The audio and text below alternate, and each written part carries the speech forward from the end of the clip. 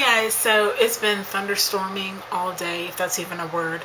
But um, it's like six o'clock now, and the rain, the rain is still going on, but the thunder and lightning stopped. So I'm taking this opportunity to film, and I'm gonna make this kind of quick because my camera's actually dying now.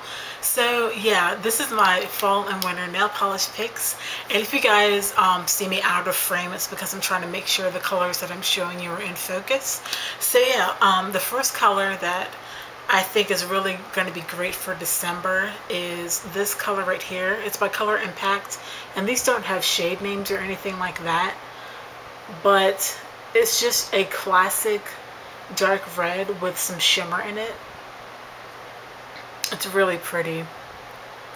And this is very similar to OPI's Let Me Entertain You. So if you have that, this is a good dupe, or that is a good dupe for this. And then the next color I have is also by Color Impact. And it is this really burnt red, almost like a burgundy color. And it just screams fall to me. So I'm really excited to start wearing this, especially like when the leaves start to change colors and stuff. Yeah, stoked for that. And then the next color I have is by Sally Hansen. And it is in Pure Chrome.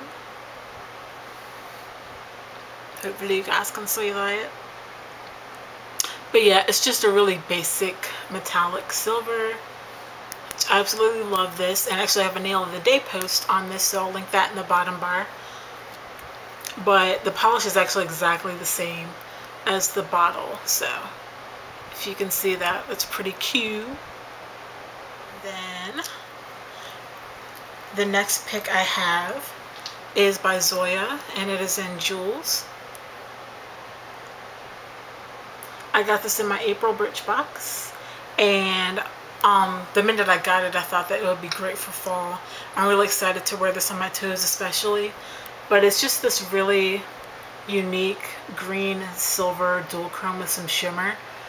Um, depending on what lighting you're in it looks like different colors so yeah I really like this. And then my last nail polish pick is my absolute favorite that I own. Um, it's amazing and it is by the Color Workshop and the shade H56 and it's just this really gorgeous mauve pink. It's not too bright but it's not too dark. So it'll be great for fall like in the September and October months. And absolutely love this. I actually featured this in my 8 most worn things tag so I'll link that over here. But I've been trying to find a dupe for this for the longest time and haven't been able to find it so if you guys have any idea of any shade that would be even remotely similar to this, please let me know. I'd really appreciate it because I'm actually running out of this. So yeah, um, that's it, you guys. I am going to go ahead and go and feed Langston.